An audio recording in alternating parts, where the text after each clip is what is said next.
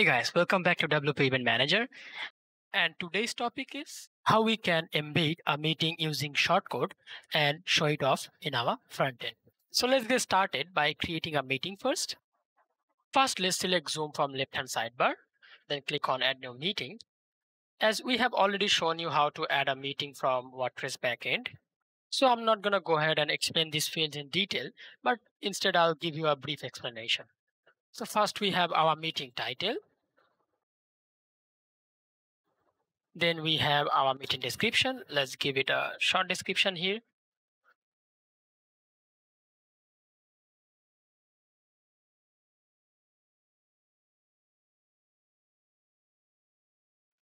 So then we have to select our meeting host, our start date, our start time, our standard meeting duration.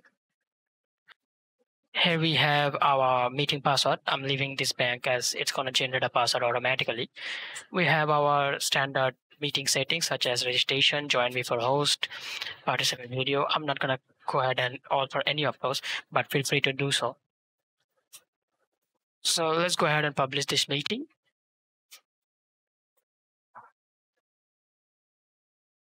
So we have our meeting published. So if we look at the bottom, we can see there's a section called shortcode. And if we click over here, it said copy to clipboard. So what it means, we have successfully copied this shortcode to our clipboard. And it's ready to be pasted anywhere. Now let's go ahead and create a page. And in a bit, I will explain what is the benefit of like embedding this meeting into your WordPress site or page. Uh, so please bear with me. So let's add a title for our page. Let me switch to code editor and paste our shortcode.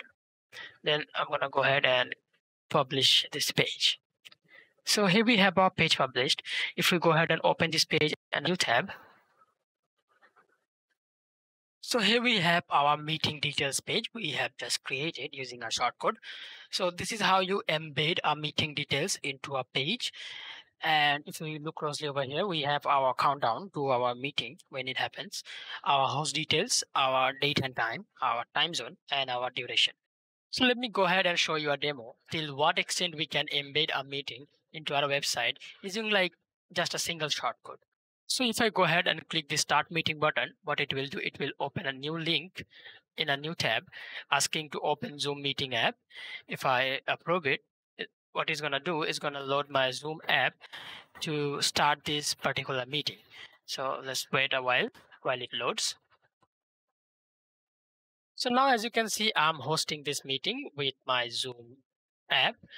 And let's go ahead and close this tab. So to simulate multiple user scenario, I'm going to go ahead and open this link, the join meeting via browser on a new tab. And if I type my name here as an alias and click on join.